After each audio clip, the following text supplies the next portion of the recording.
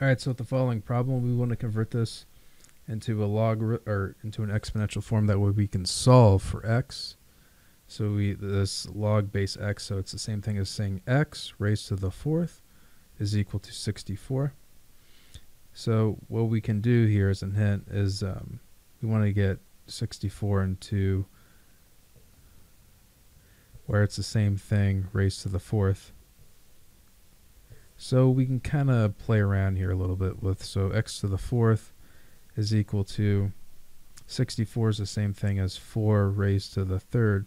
We're not quite there yet, but what we can do is, um, that's pretty close, is x raised to the fourth, and then actually we can convert this 4 into a uh, 2 root 2, oops,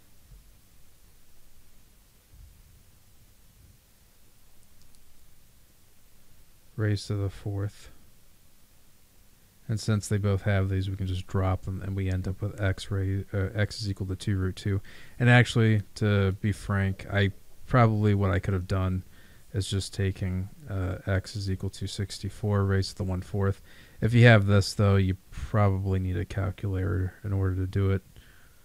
Um, so anyway, that's it. I hope this helped you out. Thanks for watching. Have a great day.